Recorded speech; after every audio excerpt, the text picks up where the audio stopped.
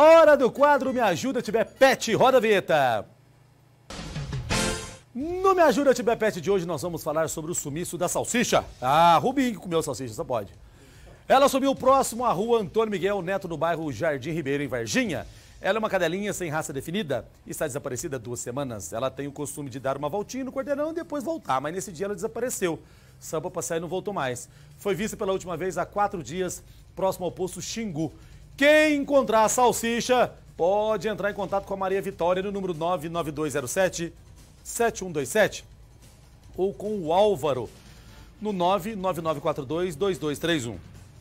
Você também pode participar do quadro Me Ajuda Tibé. Se o seu bichinho de estimação sumiu, é só falar com a gente no 8403 3011 que a gente anuncia de graça aqui para você, tá bom?